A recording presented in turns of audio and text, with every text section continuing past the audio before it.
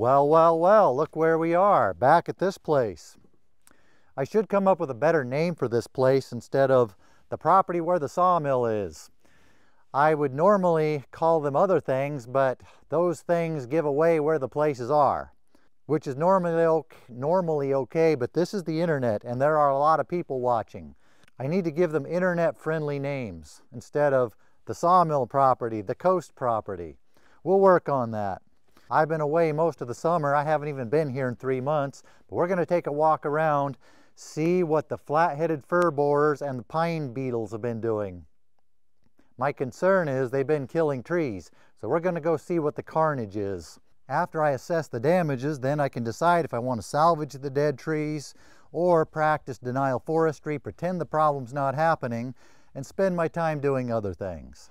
First, I want to go way over there where I can see some reds and non-greens popping up out of the green.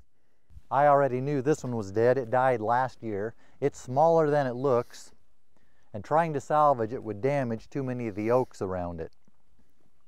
That pine's looking questionable. There's some firs in here that are looking beyond questionable.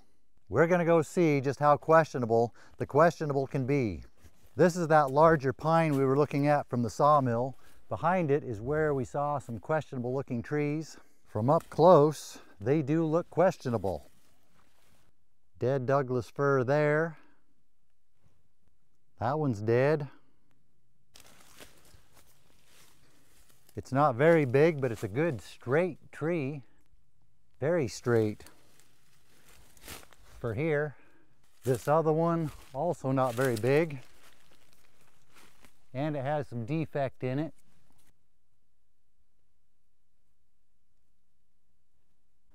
This one's looking bad. Still green though. I don't know if it's gonna die this year or not, but it's on its way out. The bugs will get it if they haven't already. This whole stand of Douglas fir right here needs to be logged. The bugs are just slowly moving their way through. They're gonna get almost every one of them, I think, eventually.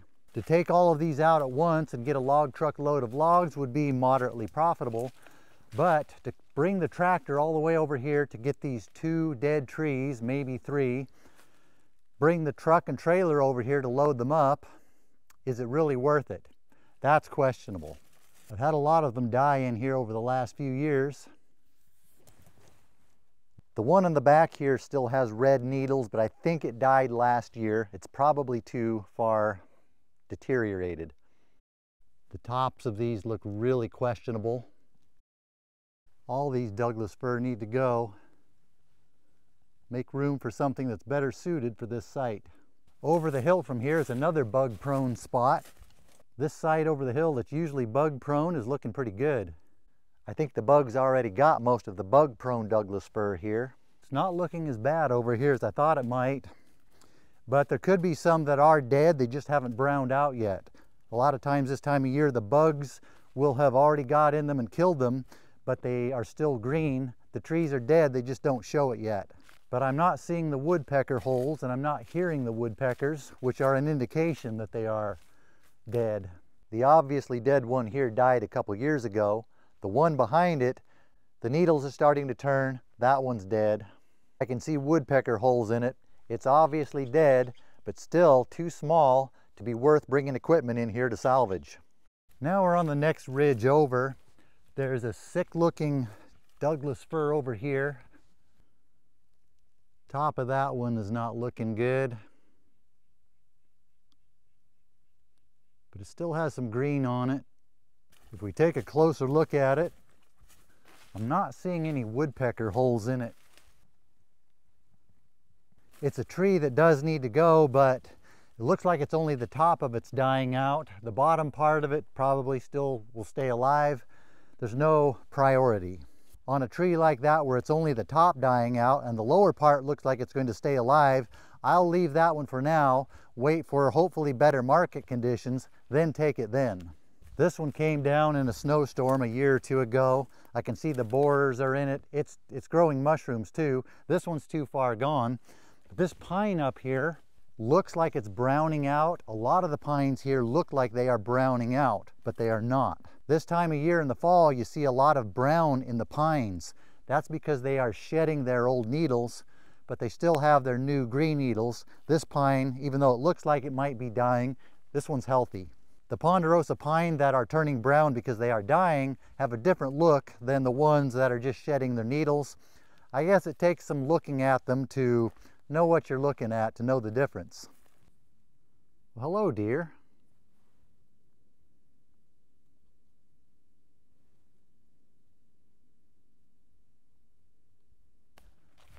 Oh, this fir is dead. Very dead. This one is full of woodpecker holes.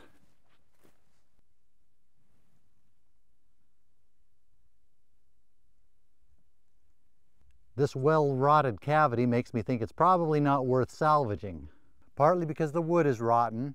It's here by itself. It would be a lot of time to bring equipment in to get this one tree out, and it's probably more valuable as a wildlife tree. So we'll leave this one here. I never did see that pine we were looking at from the sawmill. It may just be shedding needles. We'll keep an eye on it from the mill. It looked like it was too small to probably do anything with anyway. Now for the part I'm most concerned about, and that is across the creek. Driving through here a few times, I've noticed, looking through the trees, a discomforting number of brown and red patches back there. There's one well beyond questionable Douglas fir.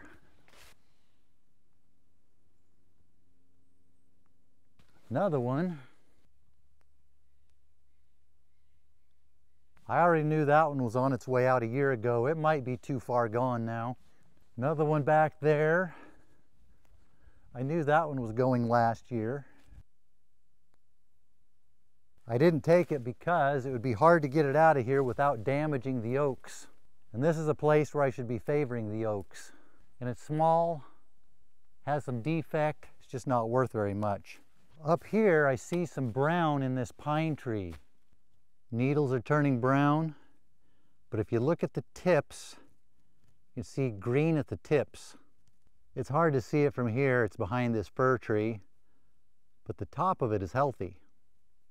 If you notice these pines have shed their lower branches, sometimes you'll see the lower branches that have completely died. A lot of times that's just normal. They shed their lower branches makes it harder for fire to climb up into the tops. Unless they have all these Douglas fir trees crowding them out. Then the firs carry the fire up. That's just one of many reasons why when the market turns around for Douglas fir, I want to take a lot of these out. These pines over here died last year. I knew they were already dead. Some of these firs back here are the ones I girdled last fall. I cut rings around the bases of them to favor these madrones. The madrones are better suited to this site. The firs would just keep growing and keep crowding them out until eventually the bugs killed the firs. Might as well just take them out now. They are too small to be worth salvaging, just leave them here for the wildlife. A small pine died over there, but I know that one's too small and crooked to do anything with. I didn't realize I had this much firewood still back here. I need to get that picked up before it gets too rained on. These pines that died last year, I might be able to salvage those, get some good blue pine out of them still, if they're not too rotten. They might be too far gone now. One of the reasons I didn't take them is they're going to do a lot of damage to some nice hardwoods coming down. This is more of a wildlife part of the property and not so much a timber growing part of the property. I may just leave those for the birds. Right next to them, this pine looks like it's turning brown but it's just shedding its old needles. The needles at the tips, the newest needles, are still green and healthy. Especially when we start getting some stormy weather, they will all fall off like these ones. This whole bug-prone stretch, I am not seeing much mortality at all. Not like last year.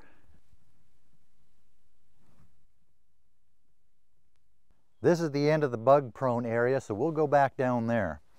Last year I came in here and salvaged a bunch of them. They were so close together and concentrated, that makes it more profitable when they are close together instead of scattered all over the place. I'm just not seeing a lot of for mortality in this spot this year, anything mortality. Just a few. One of the reasons I salvaged them last year, I wanted to get the bugs hauled out of here. If you salvage them now or in the winter before the bugs fly, the bugs are still in the trees. If you haul them out, you get rid of the bugs if you dispose of the bark. It may be salvaging these last year, hauling a lot of the bugs out of here was effective. That may be why we're not seeing very many dead trees this year. It was really sunny, but now the sun went away all of a sudden. That's weird. Just ignore that. This first Douglas fir we saw, it's a really good size for my mill. I may salvage that one. It's easy to get to. It's not far to bring the tractor. It's a really good size for my mill. Not super straight, but straightish. Small knots. This will make good quality lumber. If I do bring the tractor over to get this one, I may get that other one that I said would be hard to get out between the oaks without damaging them. It's just right over there. There might be a way to get that out. It'll be a challenge, but challenges aren't always bad. That one does have a defect in it, but it's probably mostly good wood, and it would be good to get these bugs out of here. There's one more I want to look at on the way back, on the other way back, the way we're going back this time. It's up over, well, I'll just show you. We're not there yet, we're only right here, but on my way there, I saw this one. This one is browning out. Woodpecker holes, it's dead. That's another really good sized tree for my mill. It's going to have a lot of wood with very few knots, small knots. That one's worth salvaging. And not far away from those ones we just looked at. These are more concentrated than those ones we first looked at up the hill and bigger and better quality. Okay, we're still not there. We're just up the road from over there. But I saw this tree with a dead top in it. The top's totally turned brown. The lower foliage is still green. I don't see any bug holes in it. It may not die this year. That tree does need to go, but it's not a priority because it might still stay alive for a while. It's not in danger of quickly rotting away like the obviously dead ones. Then there's that one. It's browning out and it has woodpecker holes. It's dead. Now we're at the spot where we were going. This Douglas fir, I thought maybe the top was just dying, but the rest of the foliage is turning color and the woodpeckers are really working it over trying to get to the bugs that killed it. And it's a good sized tree. Really good size for my mill. And it's on the way to go get those other ones. The tractor would be going right by here. Well, now I have to decide, do I want to spend part of the fall and winter salvaging these trees, cutting them into lumber, cutting, I said that weird, cutting them into lumber, or practice denial forestry, pretend it isn't happening, and go do something else. Like, I don't know, maybe go to the ranch and sit on a rock. As nice as that is, I might get bored with that after a while. There's a lot more of the property to cover, but we've covered most of the bug prone areas. It's not as bad as I thought it was last year, but last year I thought it was not as bad as it was last year until I started really looking around. I might look around more and find more. But this is all the looking around I want to do today because I don't want to find more. So we'll call this the end.